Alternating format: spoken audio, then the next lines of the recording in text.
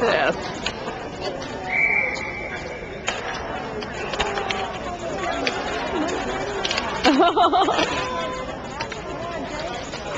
oh, gracious. Go off the puck.